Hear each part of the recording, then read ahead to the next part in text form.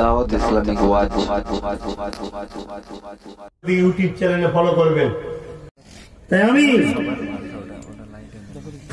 রসুল হিসাবে ঊনবিংশ বংশে শতাব্দীর উলিল আহমদ মুজাদিদুর জামান স্বাধীনতা সংগ্রামী পীর আবু বাকা সিদ্দিকীর চতুর্থ প্রজন্ম হিসাবে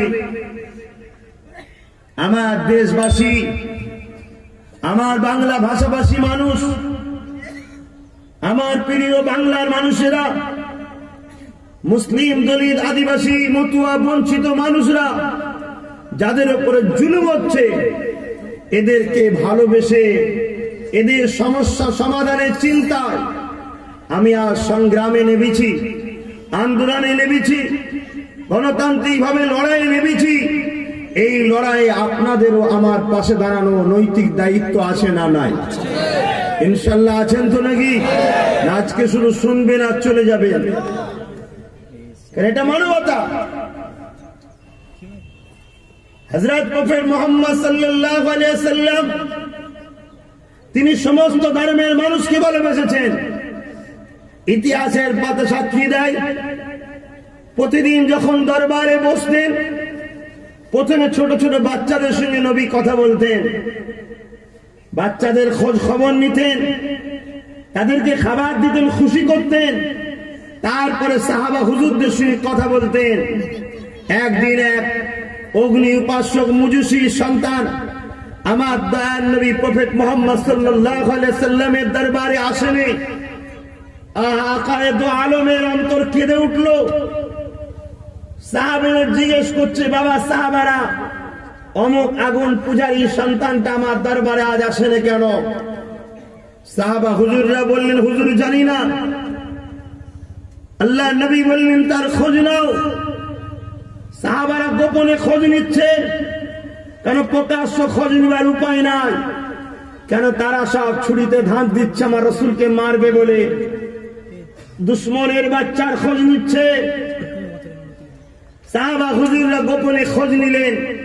তার বাচ্চার জ্বর হয়েছে, বুখার হয়েছে, বিমারি আছে।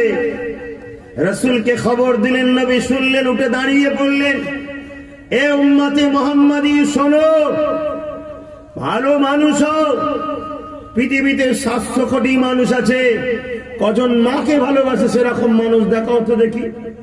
কজন বাপকে ভালোবাসে সে মানুষের সংখ্যা কত? কজন নিজের গরিব পাড়া প্রতিবেশী ভালোবাসে সে মানুষের সংখ্যা কত? আজ কেউ বিপদে পড়লে আমরা দরজাকে বন্ধ করে দিই। আর রাত গভীর তাহাজ্জুদের রক্তে নবী সাহাবাদের নিয়ে আলোচনা করছে। কান্নার আওয়াজ এসছে সাহাবাদের নিয়ে সেই মহিলার বাড়ি হাজির। দরজায় জিজ্ঞেস করছে, মা, কি বিপদ হলো? নবীর উম্মা দাবি করি, নিজের পাশের বাড়ি বিপদে পড়লে দরজা লাগিয়ে শুয়ে পড়ি। এটা প্রকৃত উম্মাতে মোহাম্মদীর কাজ নয়। আল্লাহ নবী বললেন, তোমরা রাত্রিরে তরকারিতে একটু পানি বেশি করে দাও। পাশের বাড়ি কেউ খোদা আছে কি দেখো খোদার তো তাকে এক বাটি দাও। তাই তো নবী বললেন, চল্লিশ কদম ঘুরে আসো। আল্লাহ নবী বললেন সব থেকে উত্তম ইবাদত নামাজ। আফসল ইবাদত, ইবাদতুস সালাত। ইসলামের সবচেয়ে বড় দাসত্ব হলো রব্বুল আলমিনের কাছে দাঁড়িয়ে যাওয়া। অর্থাৎ তিনাকে উদ্দেশ্য করে দাঁড়ানো। রুকু দিয়া, সিজদা দিয়া এই মহান নামাজের মধ্যে আপনি দাঁড়িয়েছেন। আমার আকা, আমার নেতা, দোরজাহানের বাদশাহ, নেতাদের নেতা নবী নবীদের নবী, আমিনা আল্লাহ আব্দুল্লাহ দুলাল জানাচ্ছে, হঠাৎ করে তোমার কানে একটা আওয়াজ এসছে, বাঁচাও বাঁচাও, আমি বিপদে পড়েছি, বাঁচাও। কান্নার আওয়াজটা এমন একটা বাড়ি থেকে আসছে, যে বাড়িটা হয়তো গায়ের ইসলাম হিন্দুর বাড়ি বা দলিত আদিবাসী মতো খ্রিস্টানের বাড়ি, তুমি যদি এক সেকেন্ডের জন্য মনে করো, আমি মহান রব্বুল আলমিনের নামাজে দাঁড়িয়েছি, ও তো আমার আল্লাহকে মানে না, অতএব নামাজ পড়ে নিয়ে দেখব খুনি। আমার রসুল বলছে, তুমি আমার কেউ নয়, নামাজটা ছেড়ে দাও, যে আগে তাকে উদ্ধার করো। এর নাম হলো ইসলাম, জোরে বলুন সুহান আজ সেই সমাজে সেই সমাজে আজকে গরিব দিনকে দিন গরিব হয়ে যাচ্ছে। আর আর এক শ্রেণির মানুষ দিন দিনকে দিন ফুলে ফুটে একদম পুরো মোটা হয়ে যাচ্ছে। আর আমরা উম্মতে মোহাম্মদি বলছি, কথা বলা যাবে না, বিজেপি চলে আসবে। কথা বলা যাবে না, বিজেপি চলে আসবে। ওই রকম দম বন্ধ করে মরে যাওয়ার থেকে প্রকাশ্য বিজেপির সঙ্গে লড়াই করে শহীদের মরতে রাজি আছি, ঠিক না বেঠি এ তো দম বন্ধ করে মরে যাওয়া, কাপুরুষের মতো মরা। যারা ভয় করে, তারা তো কাপুরুষ। আর কাপুরুষ তো বার বার মরে, আর বীর পুরুষ একবার যায় ঠিকই, কিন্তু কামত পর্যন্ত সবার হৃদয়ে রয়ে যায়। আর জানি না আব্বাস সিদ্দিকি কদিন বাঁচবে। আমি যে মিশনে লড়ছি আমি যে টার্গেটে লড়ছি, আগামী দিন আমি যদি গাদ্দার না হই, নেমো খারাম যদি না হই, মানুষকে ধোকা না দিই, আমার এই লড়াইয়ে যদি মৃত্যু হয়ে যায়, যেমন আমার আবু বাক্কারকে লোক মনে রেখেছে, পাঁচ হুজুরকে লোক মনে রেখেছে, গান্ধীকে লোক মনে রেখেছে, মরণ দুনিয়া শেষ পর্যন্ত এই বাংলার মানুষ আব্বাস সিদ্দিকিকে মনে রাখবে এটা আমি বিশ্বাস রাখি, ঠিক না বেঠি?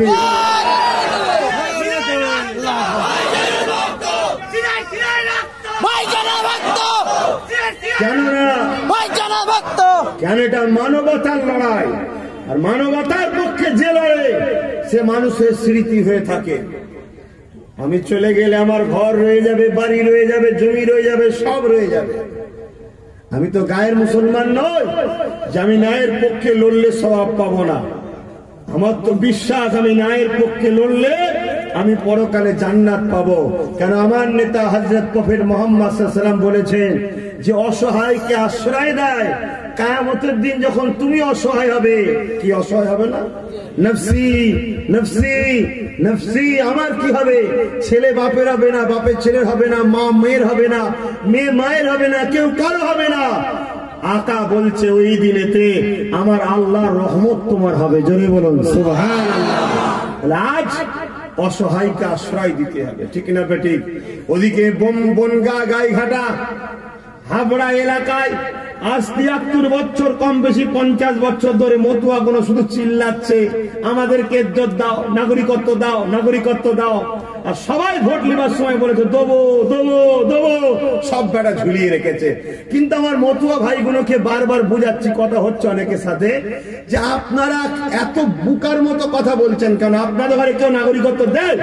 নাগরিকত্ব পেয়ে যান, তাহলে আপনারা কারও দাসত্ব করবেন না। ইচ্ছা করে আপনাকে নাগরিকত্ব দেবে না। নাগরিকত্ব নিতে গেলে আপনাকে নিজে ক্ষমতা তৈরি করতে হবে, নিজের দল বানাতে হবে, নিজেকে জিততে হবে, নিজেকে লড়াইয়ে সেখানে বসতে হবে, যেখানে আইন তৈরি হচ্ছে, নিজের ক্ষমতা নিজেকে কেড়ে নিতে হবে। ঠিক না বেটি আর আমার কম, তিয়াত্তর বছর ধরে চিল্লাচ্ছে, চাকরি দাও, শিক্ষা দাও, স্বাস্থ্য চিকিৎসার ব্যবস্থা দাও, কর্ম দাও। এ কেউ দেয় কখনো? তুমি চাকরি পেয়ে গেলে ঝান্ডা করবে কে? তুমি চাকরি পেয়ে গেলে দখল করবে কে? তুমি চাকরি পেয়ে গেলে লড়াই করবে কে? তুমি চাকরি পেয়ে গেলে বোম মারবে কে? তুমি যদি ডাক্তার হয়ে যাও, তাহলে এদের চিকিৎসা করবে কে? অতএব তোমাকে কোনো দিন দেবে না। তোমার যদি চাকরি দরকার, তোমাদের শিক্ষা দরকার যদি স্বাস্থ্য দরকার, তোমাকেও রাজ ক্ষমতায় আসতে হবে। কারও পায়ের তলায় থেকে কখনো বাপ মাথায় উঠা যায় না।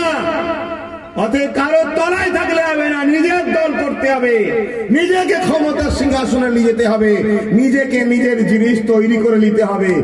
যে কোনোদিন পাওয়া যায় না, নিজে হাতে বার করে নিতে হবে। কারণ এদেশ কারও বাবা কালী সম্পত্তি নয় যে কারও কাছে চাইবে সে বেটা দেবে বাবা কালী সম্পত্তি থেকে। এদেশ আমাদের সবার। তাহলে আমাদের ঘরে নিজে থেকে নিতে হবে নিতে হবে। চাইলে কখনো কেউ দেবে না। এই যে কাজ করছি, আপনারা নিশ্চয়ই খবর পাচ্ছেন তো নাকি? আমি প্রথমে জেনে নিই, আপনারা কেউ আমার কাজে অখুশি নাকি? অখুশি নাকি? যদি অখুশি হন, পরামর্শ দেন, কেন অখুশি? জানব। শোনার দরকার আছে। আর যদি বলেন না, অখুশি নয় তাহলে আশা রাখতে পারি একজন সন্তান হিসাবে বাপ মার কাছে একজন ভাই হিসাবে ভাই বোনের কাছে একজন দেশবাসী হিসাবে আদিবাসী দলিন মতুয়া সমস্ত ধর্মের মানুষের কাছে আশা রাখতে পারি। তিয়াত্তর বছর সবাই তো দেখলে একটা বার আমার দেখানো রাস্তায় আসতে হবে। ঠিক না বেটি? তৈরি আছেন তো নাকি? জোর করে হাত তুলছি। জোর করে হাত তোলাচ্ছি নাকি? হাত নেবেন। জোর করে হাত তোলালাম নাকি? মনে রাখবে। তো ভাইয়েরা আমার আসেন আমি প্রথম সেই রসুলের কথাটা বলি যে একটা বাচ্চা, আগুন পূজারীর বাচ্চা, শুনবেন তো নাকি? কারণ চারটে পর্যন্ত হবে অসুবিধা হচ্ছে? তো ভাইয়েরা আমার, আল্লাহ রসুল বললেন, বাবা, সাহাবারা, আমি বাচ্চাটাকে দেখতে যাব। সাহাবা হুজুররা বললেন, ওর আব্বা আপনার মারার জন্য কতল করার জন্য ঘুরছে। আপনার দুশ্মন। আল্লাহ নবী বলেছিলেন, ওর বাপ আমার দুশ্মন হতে পারে, কিন্তু আমি রসুল, ওর বাপের দুশ্মন নয়। জোরে বলুন সোভান আল্লাহ নবী গেলেন, একা, সঙ্গে সাহাবাদেরও নিয়ে যায়নি। কেন? রসুল বলেছিলেন, তোমরা যদি যাও ওর বাপ ভয় খেতে পারে। জামা হয়তো মারতে এসছে প্রতিশোধ নিতে। ওই যে ভয় খেলে যে কষ্টটা পাবে, ওই কষ্টটাও আমি রসুল দিতে চাই না। জোরে বলুন সুবহান এখন কারও মাথায় ঘুরতে পারে, তাহলে বদর কেন হয়েছিল? বহুত কেন হয়েছিল? খন্দক কেন হয়েছিল? লড়াই কেন হয়েছিল? আজ আমি জানতে চাই পাকিস্তান যদি আমার ভারতের দিল্লি ঢুকে, দিল্লির উপরে গায়ে জুয়ারি দিয়ে মা বোন এবং দেশবাসীর উপর জুলুম করে, আমার দেশের সেনারা তখন কি বলবে? লড়াই করব না। এটা বলবে নাকি? তখন কি করবে? লড়াই করতে হবে তো। শুধু সেনাবাহিনী কেন? আমরাও দেশের হয়ে লড়াই করব। ঠিক না বেঠি? মাতৃভূমিকে ভালোবাসা এটা মোহাম্মদ রসুলের সন্ন্যাত জোরে বলুন সুবহান আল্লাহ ইতিহাস যদি না জানা তাকে জেনে নিন। আল্লাহ নবী যখন মক্কা থেকে হিজরত করে ইয়াসরিফে যাচ্ছিল, নবী আমার বারবার নিজের দেশ, নিজের মাতৃভূমি মক্কার দিকে তাকায় আর চোখের পানি ফেলে কাঁদে আর জাবানে বলে, মক্কা আমি তোমায় ভালোবাসি। জোরে বলুন সুবহান আল্লাহ আমি কেন সেই নবীর গোলাম হয়ে বলতে পারব না? ভারত আমি তোমায় ভালোবাসি। এ তো সন্ন্যাত এ তো সবের কাজ। অন্য পঞ্চাশ জন ভারতকে ভালোবাসলে স্বভাব পাবে কি আমি জানি না। কিন্তু মোস্তফা জানের রহমতের গোলামরা ভারতকে ভালোবাসলে তারা নেকিও পাবে এবং মানবতারও পরিচয় হবে। জোরে বলুন সুভাষ আমাদের সব কাজটা তো নেকি আছে। শুধু একটু নিয়তটা করে নেওয়া আমার রসুল করেছে। ঠিক না ঠিক একটা আপনার পাশের বাড়ি হিন্দু খেতে পাইনে গরিব মানুষ, তার মুখে যদি খাবার দেন, দিবার সময় যদি নিয়ত করে নেন আল্লাহ সৃষ্টিকে দিচ্ছি, আহারে আমার রসুল হিন্দু সমাজ দরিদ্র গরিব মানুষকে খাইয়েছে, অতএব এও গরিব, এ অন্য ধর্মের হলেও খাওয়াবো, সুন্নতের স্বভাব আল্লাহর সৃষ্টিকে ভালোবাসারও স্বভাব হবে, জোরে বলুন সুবহান তাহলে এত মহান কাজ রয়েছে করা দরকার আছে না নয় না, হুজুর হবে না। ওরা সব দল করছে আমাকে মারার জন্য। কেউ দল করে নে, বাপ। কেউ দল করে নে। যেমন ইহুদিদের তৈরি করা আইএসআইএস তেমন আমার দেশেও ইহুদিরা কিছু জঙ্গি সংগঠন করেছে। সব মাথায় ইহুদিরা বসে আছে।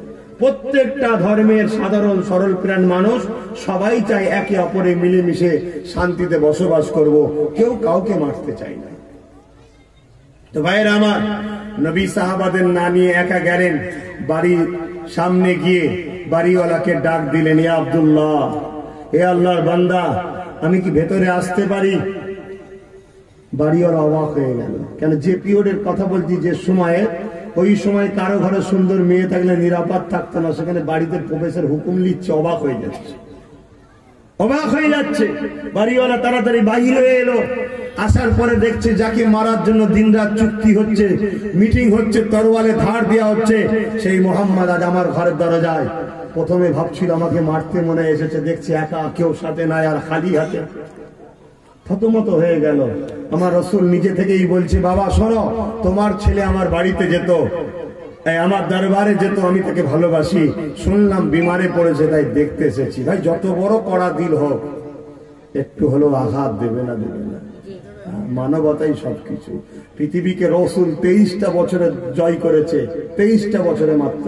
পৃথিবীকে জয় করেছে শুধুমাত্র অসুয়াতুন হাসানা। ভালো, সুন্দর ব্যবহারে জোরে বলুন সুবহান আল্লাহ নবীকে ইজাজত দিলেন, ঘরে গেলেন। বাচ্চাটা আমার নবীকে দেখি কাঞ্চে হাওমাও করে। কেন? ওই বাচ্চার কাছে আপন বাপ মার থেকেও রসুল ছিল, জোরে বলুন আল্লাহ কেন তৎকালীন সময় এই সিস্টেম ছিল না যে বাপ মা ছেলেকে ভালোবাসবে? অন্ধকার সমাজ তো জাহিরিয়াতের যুগ ছিল, আইয়ামে জাহিরিয়াত বলা হয়। বাপ মাই ছেলেকে হত্যা করে দিত। ময়া নেই, মানবতা নেই। যেখানে মানবতা নেই, সেখানে স্বাধীনতাও নেই। আর যেখানে মানবতা নেই, সেখানে প্রেমও নেই। তাদের মানবতা ছিল না। আল্লাহ নবী নূরের হাত বরকতময় হাত বাচ্চার মাথায় যেই বুলালো মহান স্রষ্টার ক্ষমতায় তিনি তো বিমানদার তিনি তো সেবা করেন বিমানটা ভালো হয়ে গেল জোরে বলুন সুবহান আল্লাহ বাচ্চা উঠে বসল। বাচ্চা উঠে বসল বাপ সময় নেই। বাচ্চা উঠে বসল আল্লাহ রসুল বাচ্চাকে জিজ্ঞেস করছে বাবা তুমি কেমন আছো? নরম সুরে ছোট ছোট কথা। জিজ্ঞেস করছে, বাচ্চা বলছেন, হুজুর, আমি ভালো ছিলাম না। আপনকে পেয়ে আজ ভালো হয়ে গেছি। জোরে বলুন সুবহান আল্লাহ বাপ মা অবাক হয়ে গেছে, আরে, আমার দুশ্মনকে মোহাম্মদকে আমার ছেলে বলছে আপন। শুনছেন বাপ? আল্লাহ রসুল বলছেন, আমি বড় চিন্তিত হলাম যে বাচ্চাটার উপরে অত্যাচার না করে তার বাপ মা। কিন্তু আমি তাকিয়ে দেখলাম, তাদেরও চোখটা ছলমল ভাব। অর্থাৎ দিলে আঘাত লেগেছে, মানবতার আঘাত। ছলো বলো ভাব। ওই বাচ্চা বলতে লেগেছে, মা, আজ আমি একটা কথা বলতে বাধ্য হলাম। এ মোহাম্মদের কাছে আমি প্রতিদিন যাই। তুমি তোমার বাচ্চার খবর রাখো না।